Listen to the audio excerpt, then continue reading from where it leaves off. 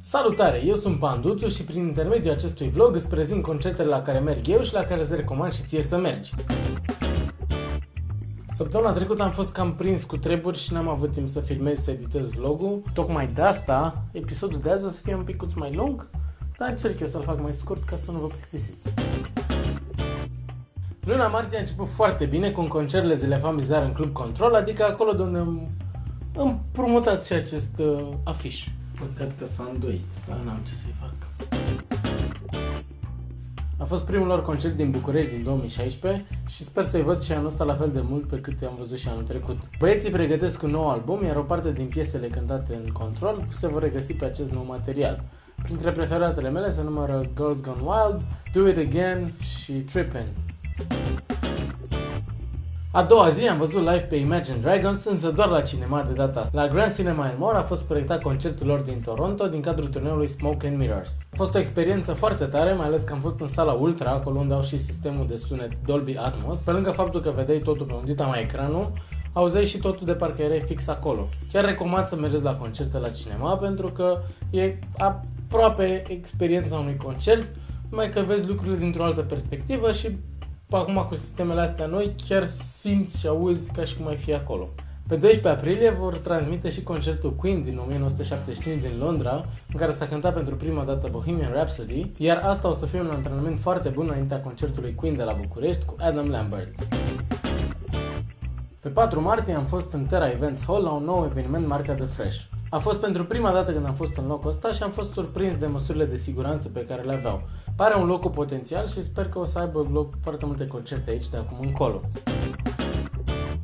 Prima dată când l-am văzut pe Jurjac live am fost foarte dezamăgit. După 7 și Future X, mă așteptam ca un show live să fie cu totul diferit decât s-au prezentat ei pe scenă. Am trecut peste dezamăgire și am încercat să analizez obiectiv acest al doilea concert și chiar mi-a plăcut. Jurjac se completează foarte bine cu Vladimir Pokorski la chitară și cu Daniel Olteanu la tobe, însă mi-aș dori ca în concerte să se audă mult mai mult vocea lui. Poate până în octombrie, când vor lansa albumul lor de debut, lucrurile vor sta un pic mai diferite.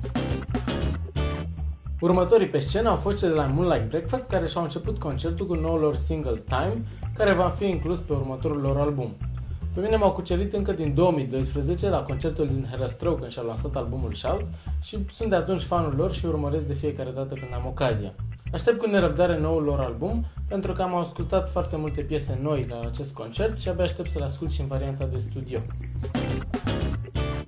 Ultimii, dar nu cei din urmă, au fost băieții de la Golan, o trupă care a crescut foarte, foarte mult în ultimul an. Nu pot spune neapărat că sunt fan al muzicii pe care o fac ei, însă trebuie să recunosc că live sună foarte bine. Mi-aș dori însă să-i văd mult mai des în varianta cu Muse Quartet. A doua zi, în sala Claudiu Petre din Fabrica, i-am văzut pentru prima dată pe anul ăsta și pe băieții de la Coma. În ultimele luni am descoperit un pic mai bine și am început să-mi placă să merg la concertele lor. Atunci când nu sunt momente nostalgice, concertele lor chiar îmi dau super energie. Am o presimțire că o să ne vedem destul de des anul acesta. Săptămâna trecută, pe 9 martie, m-am întors în Hard Rock Cafe după mai bine de o lună pentru concertul Vama. A fost, uh, conform spuselor Tudor, ultimul concert în care au cântat piese vechi. Sau mai bine zis, a fost ultimul concert în care nu au cântat piese noi. Băieții pregătesc un nou album, iar de câteva luni sunt în studio și compun piese noi. Cât de curând vor lansa un nou single pe care am avut onoarea să-l și ascult și care sunt convins că o să vă placă. Piesa se numește Memories Now și, după cum v-ați prins din titlu, o să fie în limba engleză, la fel cum va fi și noul album. Cât despre concertul din Hard Rock Cafe, mai bine las pe Tudor să vă arate el cum a fost.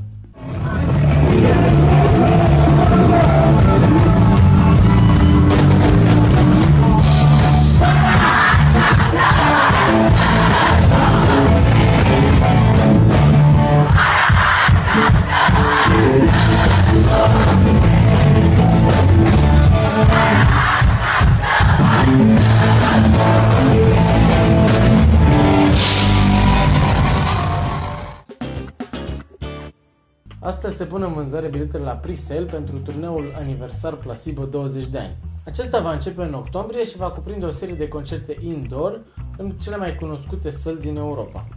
Cum noi nu avem nici măcar o sală de vreo 10.000 de locuri, sunt slabe șanse să ne gândim la un concert Placebo anul acesta.